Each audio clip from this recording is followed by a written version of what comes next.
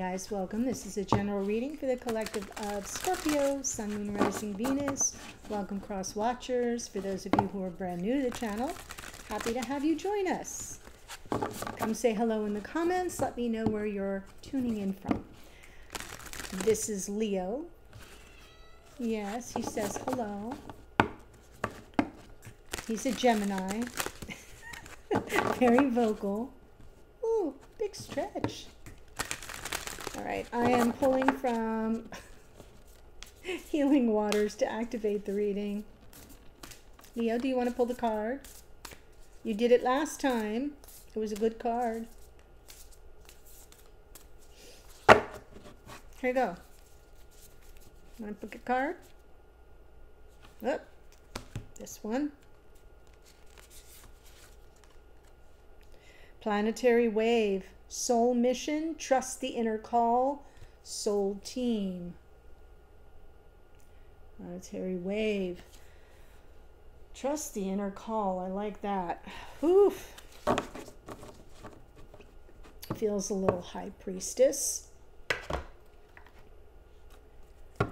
Okay, so what I'm doing, and yeah, I pulled this Soul Mission. I also pulled from this deck because we are right now at the uh, first quarter moon and we're moving toward the full moon in Pisces, hence healing waters, and the new moon in Virgo is the healing part. Um, and we're moving toward a lunar eclipse. Mm-hmm which is um, created by the south node of the moon, and the south node is about the past, right? So that's what we need to release. So lots of stuff may be coming up, guys, just so you know, um, for release. And so I'm trying to combine a little emotional healing into this series of readings. So I'm doing the soul contract tarot spread. Leo, you're you're kind of blocking my my my my spread spot. Though I hate to disrupt your you look like you're in zen mode. Okay. I can always move it over. All right, so this is a little different than my normal spreads. I'll pull the cards. I'll let you know what they're about. We'll go back through and clarify. The nature of your karmic soul contract, Three of Pentacles. So it is about cooperation, co creation, kind of being on the same page. And um, your main lesson here, though, interesting, is um, maybe getting some clarity about a decision with regard to this soul contract. Are, are you are you on the same page?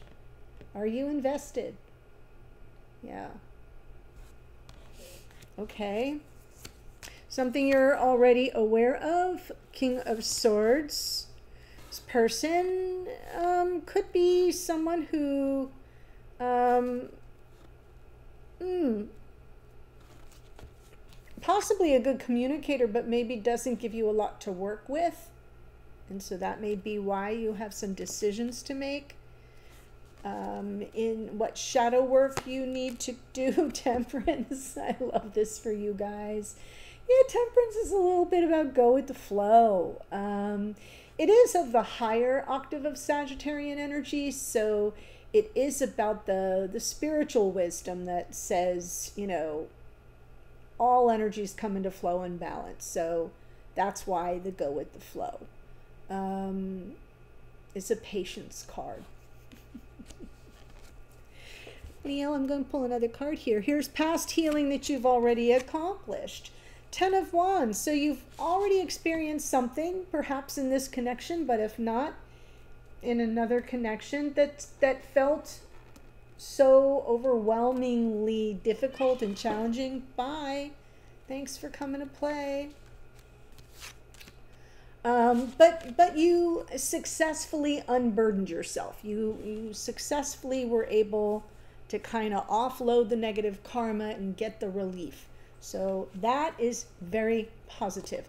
Now the final step on the healing journey here that would signal that you're ready to cut cords if that's what needs to be done in this connection or that you are completing part of the soul contract and are ready to take the step to the next level of the contract. Wow. So, the final step of the healing journey is kind of um, I, I'm like, I just got a massive visual of like a whip being cracked, and it's sort of like dominating the ego, right? This is egoic fear and resistance that kind of tries to keep us small.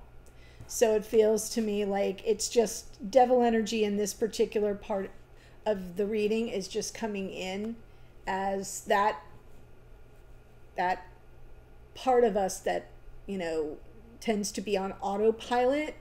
It's reactive instead of proactive. It's um, where we go whenever we're not when we're when we're not quieting all the external noises.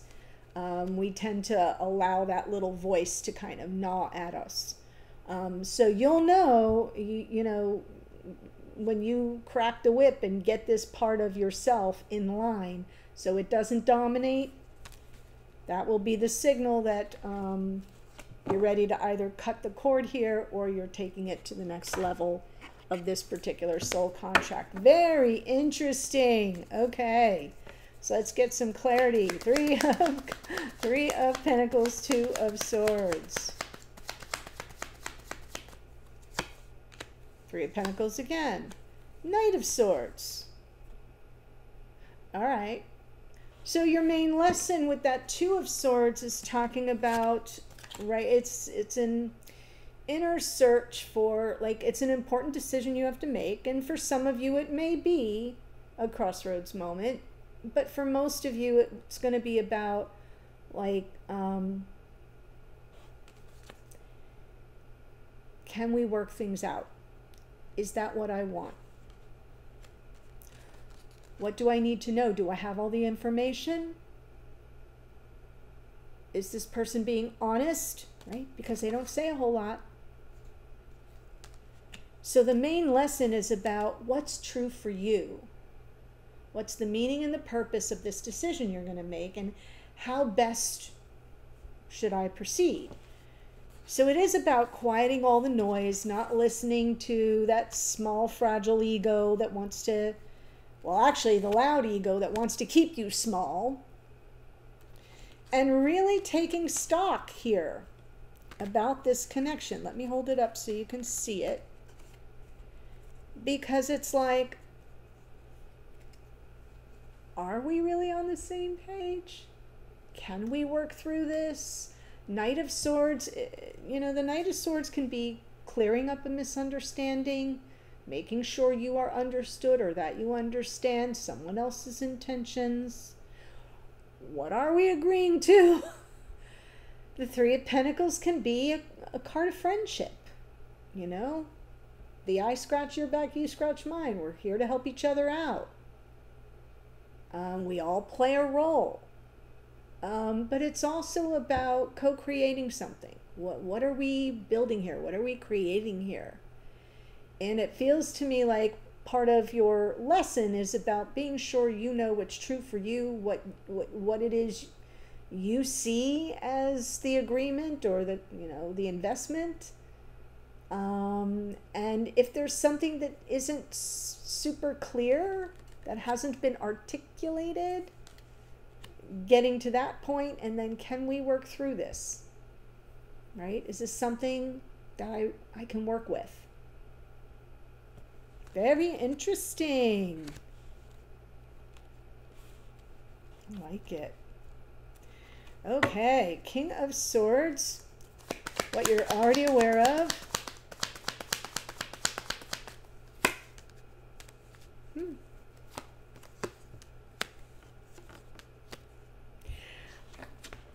Yeah, this person's like, you know,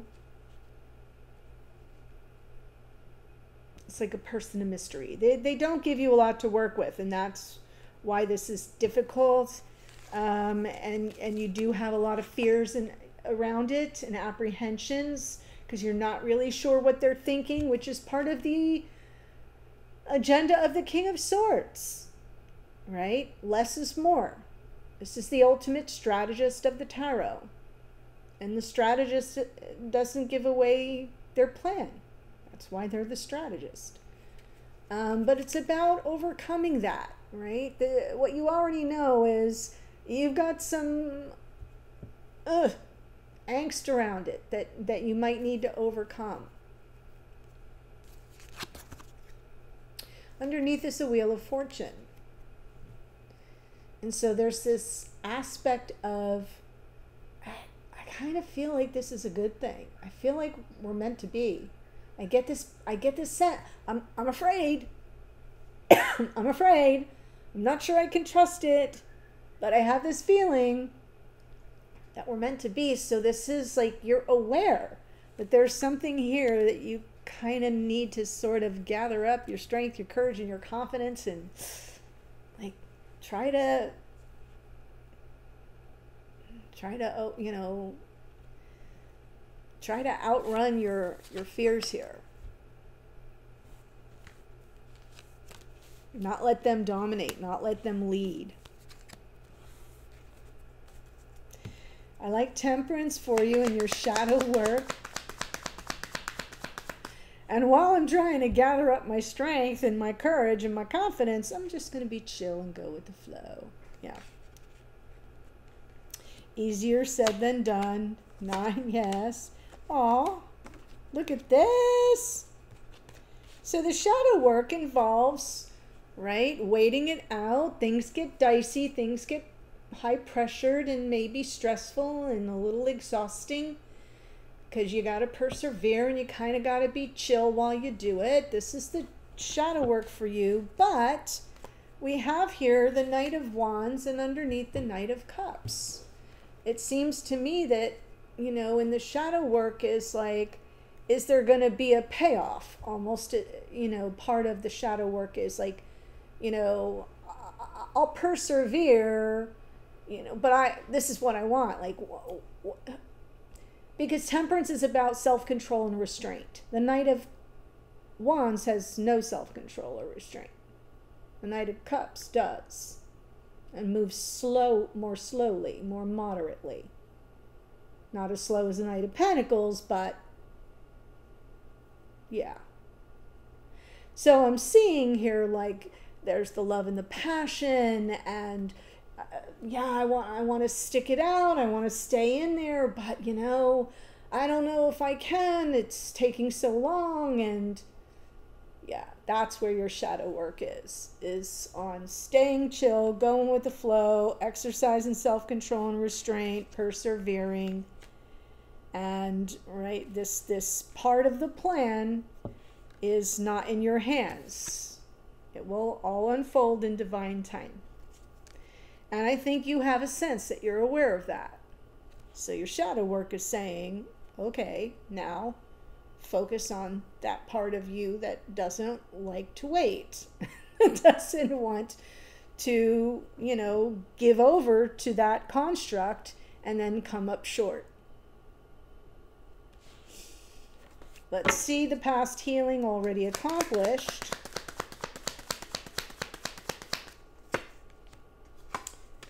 Oh.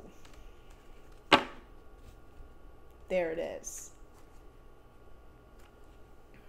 Right? Queen of Wands, Seven of Pentacles, Three of Swords. But you, you know,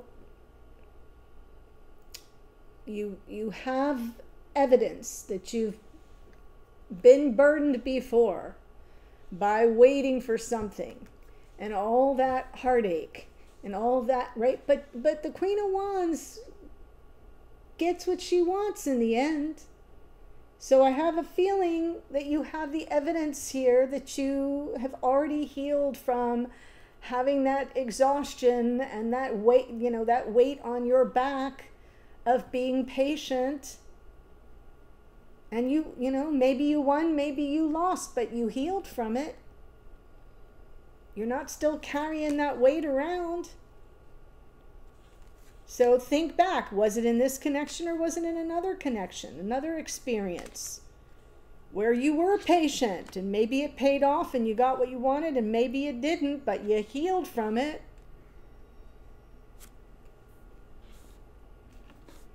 I think that's like my favorite part of the spread in almost every reading is there are the receipts. Think about it.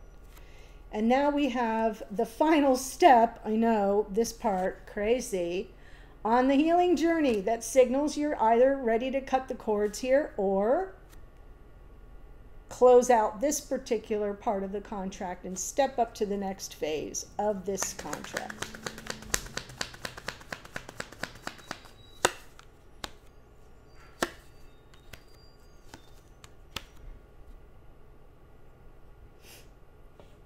Oh boy.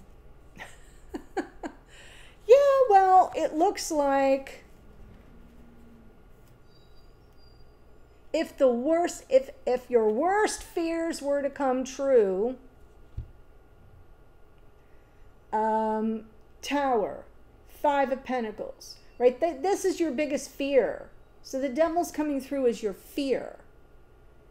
And so let's put those down because we know what that is and we're talking about the final step on the healing journey so what's your biggest fear everything falling down around you and being rejected and abandoned. Our King of Swords here saying, Nope, I don't want it. Bye bye.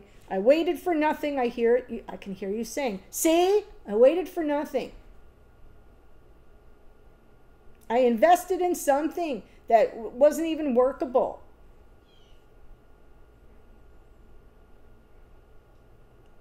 So, okay, that happens. So, what do you want to do?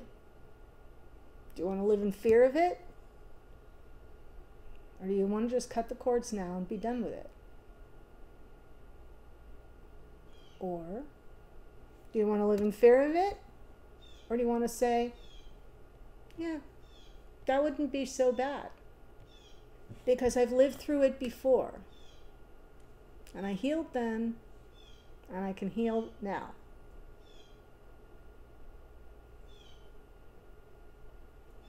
If this is the worst it can get, right? Do you see yourself being able to resolve that? If the answer is no, then it stops here. That's the final step on the healing journey. This is unacceptable to me. I'm cutting the cords. Has, don't have to live in fear of it. You just have to say, I am identifying what it is I do not want, so I'm going to stop right here. But is it coming from fear or is it coming from a conscious choice? A conscious choice.